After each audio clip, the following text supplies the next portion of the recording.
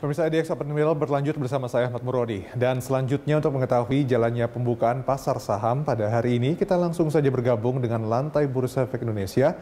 Di sana sudah ada rekan Ira Hulu dan juru kamera Hafiz Al-Rashid. Ya, Ira IHSG kita tahu pada perdagangan akhir pekan lalu ditutup di zona hijau. Nah, bagaimana kemudian prediksi analis untuk perdagangan hari ini? Ya Dodi dan juga pemirsa kalau kita bisa mengulas sedikit bahwa pada pekan lalu sebenarnya memang pergerakan ataupun uh, posisi indeks harga saham gabungan ini tidak terlalu baik karena sepanjang pekan ini IHSG hanya menghijau sebanyak dua kali.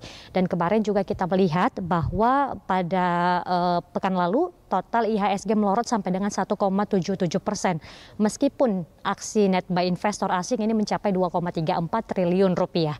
Dan untuk hari ini, Dodi dan juga pemirsa, ada sejumlah uh, prediksi dari analis terkait dengan pergerakan indeks harga saham gabungan. Kita mulai saja dari yang pertama, yakni ada dari Panin Sekuritas yang analisnya memprediksi kalau untuk hari ini IHSG berpeluang untuk rebound. Adapun gerak IHSG ini diprediksi berada pada rentang 5.944 sampai dengan 6114. Dodi dan juga pemirsa sembari saya akan terus menjelaskan terkait dengan pergerakan ataupun analis uh, pergerakan uh, IHSG untuk hari ini. Uh, perkiraannya seperti apa? Kita melihat dulu ke monitor Bursa Efek Indonesia terkait dengan uh, jelang pembukaan perdagangan pada hari ini.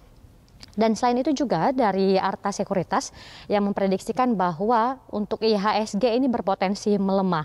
Secara teknikal ini memang rentang penguatan jangka pendek akan tertahan di resistance moving ataupun average 50 eh, ataupun 50. Kemudian selain itu juga untuk IHSG hari ini diperkirakan berada di support 1 level 5968 dan resistance 1 yakni di 6060. Kemudian di support yang kedua berada pada level 5907 dan resistance resisten yang kedua yakni 6091.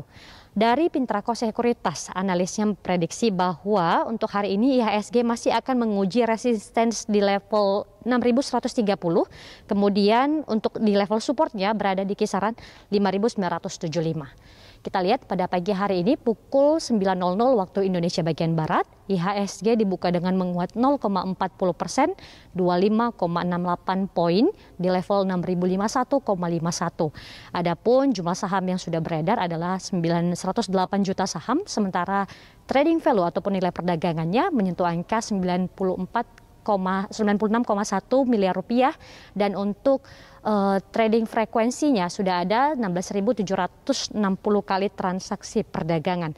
Dan untuk uh, sepanjang per, ataupun pembukaan perdagangan pada pagi hari ini kami juga melihat di sini bahwa ada pun jumlah saham yang menguat adalah sebanyak 234 saham, kemudian saham yang melemah sebanyak 48 saham dan saham stagnan ataupun tidak berubah ada sebanyak 148 saham. Ya dari catatan kami juga ada pun sejumlah saham yang direkomendasikan oleh uh, para analis tersebut, yakni salah satunya dari Panin Sekuritas adalah para investor bisa memperhatikan saham dengan kode emiten seperti BABP, BNII, ISSP dan juga MAIN. Ya Dodi dan juga pemirsa nanti kami kembali akan mengabarkan kepada Anda terkait dengan pergerakan indeks harga saham gabungan di satu jam perdagangan di sesi pertama. Kembali pada Anda dulu di studio. Dodi. Rahulu dan juru kamera Hafiz Al Rashid langsung dari Bursa Efek Indonesia.